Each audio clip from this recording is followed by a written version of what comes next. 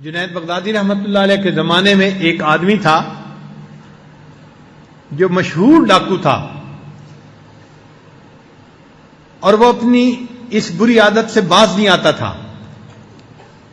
किताब में लिखा है कि उसको सोलह हज़ार दुर्रे लग चुके थे। कभी सौ, कभी दो सौ, कभी इतने कभी इतने। इतने दुर्रे लग चुके थे।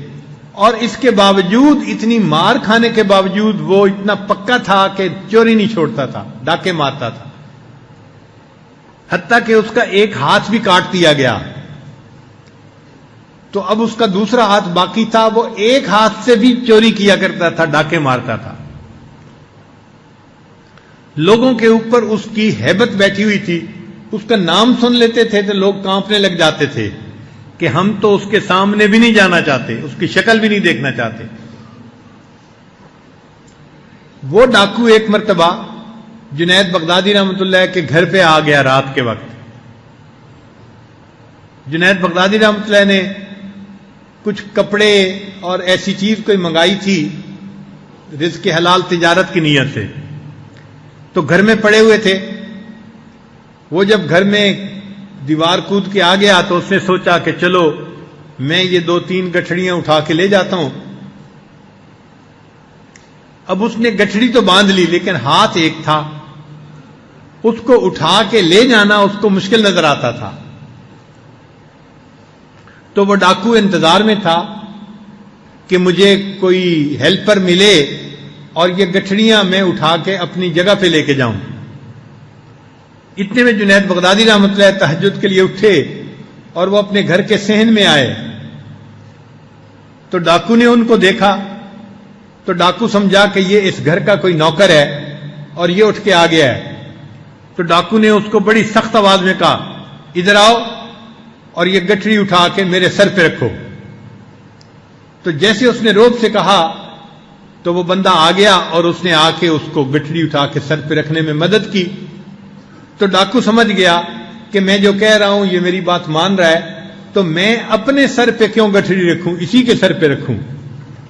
तो फिर उसने कहा, नहीं नहीं, मेरे सर पे मत रखो, तुम इसको अपने सर पे उठाओ। तो जुनैद बगदादी इसके लिए भी तैयार। उसने अपने एक हाथ से मदद की और गठरी उठा के जुनैद बगदादी के सर पे रख दी और उसको कहने लगा कि जल्दी चलो, इसे तुमने मेरे घर तक पहुंचाना है। और फजर का वक्त होने में कम वक्त है, लिहाजा जल्दी जल्दी जल्दी जल्दी चलो। अगर तुमने देर की चलने में तो मैं पीछे से तुम्हें डंडा लगाऊँगा। अब जुनेद बगदादी अपना माल अपने सर पे रखा हुआ है और उसके घर की तरफ़ जा रहे हैं। अब वो तो रोज़ाना चोरी करता था, इसलिए वो तो सेहतमंद था और तवाना था और जुनेद बगदादी रहमतुल्लाह तो कमज़ोर थे। सांस चढ़ गया, थक गए। पीछे से वो डंडे मार रहा है और जुनेद बगदादी रहमतुल्लाह उसका सामान लेके चल रहे हैं। हत्या कि उसके घर वो गठड़ी पहुँचा दी। जब गठड़ी घर पहुँच गई तो डाकू को तसल्ली हो गई कि आज मैंने कुछ ना कुछ माल चोरी कर लिया। जुनेद बगदादी वापस आ गए। अब वो बंदा जो डाकू था, वो आराम से रात को सोया। अगले दिन उठा तो उसके दिल में ख्याल आया कि मैंने एक घर के नौकर से काम लिया था। कहीं वो नौकर मेरा राज फाश न कर दे, मैं जरा जाके पता तो करूँ।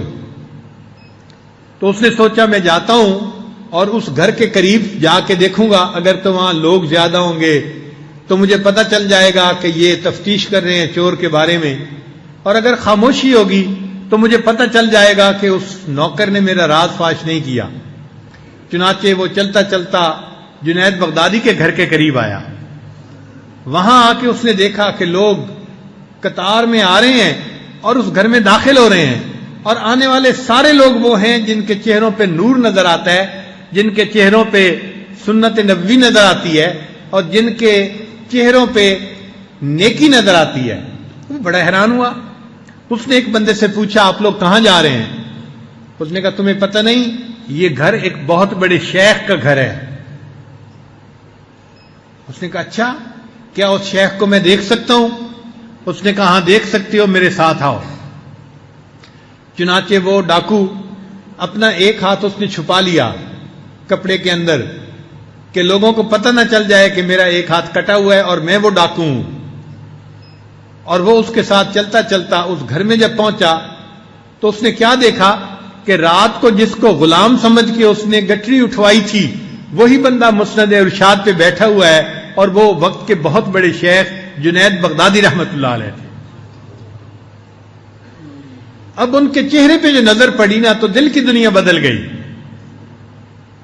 चुनाचे उसने हज़रत की मजलिस में तौबा की, फिर हज़रत से बैत हुआ, किताबों लिखा है कि फिर उसको हज़रत जुनेद बगदादी रहमत ने खिलाफत अता फरमाई और वो अपने वक्त का हाथ कटा, इतना बड़ा शेख बन के ज़िंदगी गुजारता रहा।